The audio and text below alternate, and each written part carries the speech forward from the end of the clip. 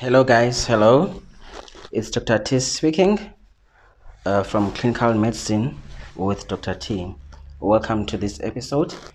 And yes, for those who are watching for the first time, welcome to the channel. Um, this channel, guys, is just to help to do my bit to help where I can. Yes, I've got a passion to teach or a passion of teaching. Um, so that's the main reason why I have this channel. Uh, and I think it's a great fla- platform to teach. Um, since last year, when I started to, to do my uh, doing my internship, I've been uh, meeting different students in uh, in the ward during the rotations that I did last year, and the, some of them have been asking me to start a, a channel, but I have been reluctant the whole of last year. But then this year I decided, this year I decided to give in. So that's the main reason. Okay, so guys, I wanted to talk about uh, acute abdomen slash appendicitis. Acute abdomen appendi appendicitis. Okay, a patient is good. I, you know, guys, acute, acute abdomen is like a very, very big topic. Very, very big topic. So I think it will be more, it will make more sense if we tackle acute abdomen like this. Uh, we're gonna acute, we're gonna, we're gonna, in this series of acute abdomen, we're gonna look at uh, uh, at acute abdomen um, at an angle of a specific uh, um, condition like appendix. So we can we're gonna also do acute abdomen, pancreatitis, acute abdomen, uh, peptic ulcer disease, like that, like that. Acute abdomen, cholangitis, like that, like that. So because doing acute abdomen J is gonna it's, it's a very big topic, and I'm I'm gonna cover the most common and the most um, the most common and the most asked um, conditions during exams. So appendicitis. So let's just define acute abdomen. Acute abdomen by definition is abdominal pain that has been there for less than a week. Meaning if it's more than a week, it's no longer acute abdomen. And that and that acute abdomen and that pain that the patient has, that abdominal pain must be a pain that the patient has never presented uh, with before, and it must it must um, it must be a pain that has not been investigated or treated before. So that's acute abdomen. So let's talk about appendicitis in this case. So a patient with acute abdomen come in with pain, obviously. They'll come in with abdominal pain. Uh, they might have nausea and vomiting and all that. So it's very hard to just look at acute abdomen. All we know about acute, acute abdomen is a sudden pain that is very painful. That need that needs im, uh, uh, emergency or urgent attention. That's an acute abdomen. So let's talk about append- appendicitis. So to understand appendicitis, we need to understand a bit about the anatomy.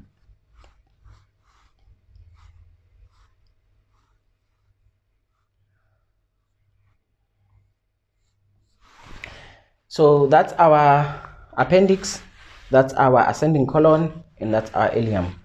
So first of all, an appendix is a tubular structure that is found at this location, which is just before the start of the, the ileum, just at the cecum. So it's a tubular structure like that. So this tubular structure, once something happens, whatever that happens, but you end up having a blockage here, and there have been different theories about what actually initiates appendicitis, what actually causes the block. Everyone believes that there's a block that comes, something blocks the, the, the opening of the lumen, and uh, the most accepted theory is that it's a fecalith. Fecalith. Lith means stone, fecal means feces. So, but when you look at, so it, it's gonna initiate, it's the one that initiates everything. Everything that happens after this is because of this blockage. But other things that can block this are your worms. Your worms can also block this. uh, your your seeds, undigested seeds or pits, can do that. Also, tumor, be it malignant or benign, they can dislodge there, like your tumor cells, small tumor cells, they can go there. So what happens is you have got a blockage now, and you've got a blockage, but you've got a continuous production of mucinous fluid there. That fluid will not be able to, to go out, and it's gonna be static. So you develop stasis there. And as you develop stasis, whatever that is, is static in the body just invites bacterial proliferation. So you get this and then you get stasis. Then the next thing you get bacterial proliferation. Once you get bacterial proliferation, it means now you've got an infective process going on. Infective process. And this thing swells. It swells. Once it swells, remember it has got a blood supply by the penile artery. So the artery there because of the swelling, the, the, the artery, because of the swelling, you develop thrombosis because once it swells, the circulation now becomes affected, the movement of blood or the flow of blood becomes affected, you develop thrombosis. So you get thrombosis. Once you get thrombosis, it means now you've got ischemia. And once you get ischemia, you run a chance of having necrosis. And once you have got necrosis, perforation is the next thing. Perforation. So, and then by the time you get to to ischemia, necrosis, your patient is already symptomatic. When they perforate, it's worse. They are very, very, very, very sick. Um, so these are the events that uh, uh, happen then with appendix. So, what will be the presentation? A patient is going to come in with acute abdominal pain, anorexia, nausea, plus minus vomiting. They might come in with diarrhea as well um, they will come in with fever. And also, the presentation also will also depend whether the patient is, is ruptured or not. A patient that is ruptured is very sick. It's very, very sick. They might even come in septic shock, those ones, which means you might need to resuscitate them before you can do any other thing when they come in with uh, in septic shock with a perforated uh, appendix. an appendix that while we are still here, once you get a perforation, that's a complex appendix. And a simple appendix is when you still have this. That's a simple appendix. Simple appendix. Once you get a perforation, you get a mess, you get an abscess. That's a complex or a complicated appendix. But if you don't have those, then it's just a simple. It becomes important in management uh, to make that differentiation. So an appendix can either be simple or complicated, or it can be simple or um, complex. So that this is how your patient will. Let's say let's talk about a patient that is able. You so they come in with this history. Once they come in with this history, do an examination. The most important, yes, you're going to look at the vital signs and all those things to determine whether they've perforated or not. Because the patient that is perforated and is not, they might be in septic shock, so they will have hypotension, tachycardia, that sort of sort of a thing. And appendix, this is when it kills. Once you get, uh, once it ruptures, and then the patient delays going to theater for whatever reason, and then they develop a SIRS, a systemic inflammatory response syndrome, then that's when now you end up having kidneys being involved, uh, they having a heart being involved they become uh, they get into cardiogenic uh, to cardiogenic shock. They they they they get renal impairment. They get other involved other organs being involved. So appendix is not as as what's the word? Is not as it can be very cruel. It can be very bad. Things can go can go very very bad especially once you get here. And you don't want to get there because of this. Um, and a patient that has got a ruptured appendix will stay longer in hospital than a patient who came in with just a simple appendix. So you don't want to delay them. Okay, so the most important examination after you, after your vital signs, checking your vital signs, everything, is your abdominal examination. You want to check if it's distended. Sometimes you can look at an appendix patient, and most of the times, when you see them clinically, they will be in a position that is um, they will flex their hips. Because when you flex your hips you are putting uh, you are relieving the the peritoneum and the muscles from being stretched. So when you when you when you are stretched like that you are pulling a peritoneum that is got um because the peritoneum at that point is also involved so for them, so for them to flex their hip is a way of relieving, of relieving, um, alleviating the pain. So most of the time, some of them will come in walking like this. You know, when I see a 14-year-old come in, come in casualty and walking like that, my number one suspicion is appendix, because they will be walking like that. Or if you find you find them already in the bed, they will still be flexed like that. They will be um, they will have they will be in hip flexion it's just um, a way of uh, relieving the pain. So you want to check if it's distended. You want to check if um, where is the tenderness. Okay, when they come in, they might tell you, not all the time, they might tell you that, okay, this pain started periumbilically and now I'm feeling it on the right iliac fossa, on the right side. Some of them will tell you that story, some of them not, won't even tell you because they don't even remember if something like that happened. Yeah. So a patient that doesn't have, that doesn't present, doesn't tell you about periumbilical pain that shifted to the right iliac fossa does not say that they don't, they might, they've got, they might not have appendix, they, or they don't have appendix. So yeah. So you wanna check if the abdomen is soft or if it's tense and where is the pain. If the pain is localized on the right side, on the right iliac fossa, okay, but the most most important thing is are they peritonitic like are, are they having rebound tenderness are they having guarding as you examine? Because rebound tenderness remember you do you know the way you do uh, um, abdominal palpation? You first go soft away from the area where the patient says the pain is. You just go you do a soft palpation. And then once you do a deep palpation once you do a deep palpation and then you release very fast your patient is going to scream. That's a rebound tenderness. That's how you elicit rebound tenderness. Rebound tenderness is a sign that the peritoneum is involved. And um, if the patient has got pain that's localized to the right iliac fossa, chances of that patient having perforated are very low. They are very low. It's not saying no, but they are very low. But if the abdomen is painful everywhere, wherever you touch, there's rebound tenderness everywhere. It's okay to have rebound tenderness on the right iliac fossa, as long as you don't have it on the other parts of the abdomen. But if you have it everywhere, then chances are that patient is peritonitic and they've ruptured their appendix.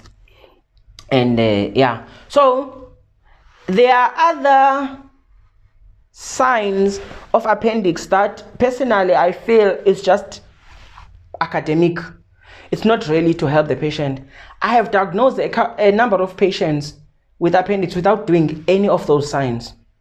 What is important is that you look at these things, you decide where is your patient, and then appendix is a very clinical diagnosis. If it's really real appendix, it's very clinical. Not unless there's something else that might also be causing the patient's symptoms. So after doing all of that, you will do your bloods. Remember, the signs that I was talking about, ne?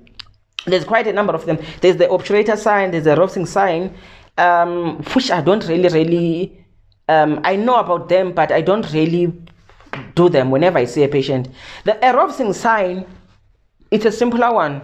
Basically, got a patient that has got, um, yeah, it's, it's good to know them for marks, but clinically, they're not really relevant.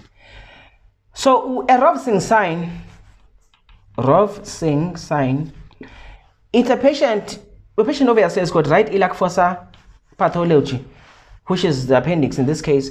Once you, you palpate this side, they feel pain on the on on the side on the right hand on the right iliac fossa. You palpate on the right on the left iliac fossa, but they feel pain on the on the right iliac fossa even with without you touching them on the right iliac fossa. That's a Rovsing sign. Then you can look at other the obturator and all these other things. So your bloods that you want to do for this patient is your UNE and your your your FBC. FBC studies have shown that if you've got a patient that has got symptoms that look like appendix but they've got normal white cell count, then it's not appendix. Simple as that, it's not appendix.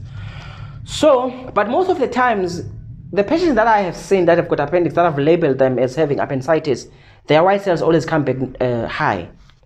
And also, the white cell count also tells you about potential rupture. The higher it is, the likely that it will rupture. So I can't remember the, the, the exact um, numbers that they use. If it's like up to this, it's an unruptured, whatever. But I know the higher it is, the likely that it will rupture anytime. So yeah. And why do we do the UNEs?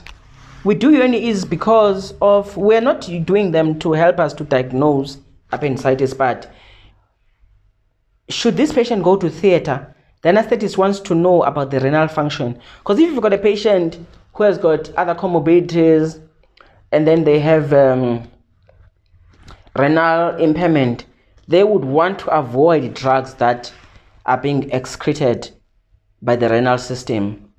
So they would want to, because there are other drugs that can also be excreted by the liver or metabolized and by the liver. So they would want to know about that and try and plan for these patients um, anesthesia, what drugs they would use. But it's not to diagnose uh, appendicitis. So these are the drugs that, these are the main, um, uh, what you call, the main bloods that we do. And FBC in other places, it was, this thing, medicine has got a lot to do. Where are you doing it and who is your senior and all of that. You know, in other centers, um, like where I trained, for appendicitis patients, they only used to do HB. I mean, sorry, they only used to do a white cell count only and nothing else. If a patient doesn't have comorbidities that uh, we might think they might have anemia or whatever, they used not to do an FBC. They would just do a white cell count. But where I'm working, we always do an FBC. So, yeah. Um, so, you are now taking a patient to theater. A, a patient that is not perforated is needs to go to theater, but it's not like uh, it must be now. Especially if you've got other patients that have perforated. Patients that are perforated, they should take priority. They should go to to theater first. The uh, appendicitis is very, very, very common, guys. I remember when I was still doing surgery, I think per call would have about four or five cases of appendicitis I remember there was a time we had about 12 patients that were waiting for, for operation. They all had appendicitis. So that's how common this thing is. Okay, so how do you manage appendicitis? Yes, you're gonna give them the fluids, and uh, remember, the reason why you give them fluids, they might be behind in terms of their fluids because they've not been eating or drinking for some time. So you want to give them fluids, and also it would help you if you they've got a bit of high blood pressure for whatever reasons. But if a patient, for an unstable patient, obviously you would give fluids to, as, as, a form of a resuscitation. But a patient who's just stable, you still give them fluids because of that um, um, thing, of that reason. So um, when you work in centers whereby patients are not operated where you work. For instance, you are working at a district hospital, and in that district or at the clinic, and in that district hospital, they don't do um, operation. You need to refer this patient. The problem now is that the issue of um, of antibiotics and analgesia. When you see this kind of patients, let's say you see them at the clinic, are you gonna give analgesia? It's a tricky and a very difficult question to answer because if I'm working at a district hospital and I, I need to refer my patient to a tertiary institution, which is like maybe three hours or four or two hours away, am I gonna not give these patients analgesia so that when they get there, the doctor who sees them, the surgeon can still elicit the the features that I, I, I picked up, like your rebound tenderness, right iliac fossa tenderness, all those things. Am I gonna withheld or withhold or not give this patient analgesia so that my colleague on the other side can be able to pick up the signs that I picked up? It's very difficult. Or am I gonna give them and still because it's true that if you give them strong uh, painkillers, when they get to a tertiary institution, they might not have um, the the pain symptoms that um, that they came in with when they were see, when they went to see you. It's a very difficult thing, and uh, I don't think there's a straight answer to it. I don't think I don't think there is, but I think personally, because remember, even if you can give them an analgesia now, when that analgesia has uh, worn off, the symptoms are, are, are gonna come back. But they might come back when the guy, other guy that side has already discharged the patient, or whatever, whatever. It, it's it's a difficult thing um, to decide about, and uh, yeah. So the, let's talk about the management. So I'll leave that guys to decide for yourself and also with your seniors and what are they saying because it's it's a gray area. So, how do we manage appendicitis? There is medical management, medical management, and then there is surgical. Maybe some of you are looking at me and saying, medical, yes, there is medical management for appendicitis, but there's a criteria that the patient must meet. For instance, it doesn't make sense to medically manage appendicitis on a patient that has ruptured, perforated, so they don't meet the criteria. And also you look at the white cell count how high is it? Because if it's very high then that patient is going to perforate anytime. So it, there's no point medically manage uh, uh, to medically manage them. When you medically so there's a criteria. So the patients that so the drugs that you use the you use augmentin and there's a study that was done on this. And they picked up that there are patients that would come in with a simple appendix, they get uh, antibiotic for seven days, and then they are followed up. Some of them were followed up up, up until two years, and they never had it never um, um, it never re- re- recurred. So they never got symptoms again. So their appendix was fine. For two years, they did a follow up. So this does work. Medical management. Surgical can either be open or laparoscopic. Open or laparoscopic. Again, a patient that is ruptured needs to be opened up, or a patient that is perforated needs to be opened up. But a patient, if you for some whatever reasons you've got a patient that is not perforated, there's not ruptured, and you want to take them to theater, you can do a laparoscopic uh, procedure on them. So that's your appendix. Um, normally, these patients are kept in theater. These ones will always, the ruptured ones will always stay longer in hospital. And these patients, when things really go bad, they might even end up in ICU. And also, um, yeah, yeah. So I think that's that with appendicitis. Um, so I hope you guys will comment and. Um, and tell me where I what what I forgot or whatever comment that you guys might have. But I think that's it for appendicitis. Once again, thank you for watching and uh, keep subscribing, liking, and sharing the channel. When we do that, we will grow. Thank you, thank you, and thank you.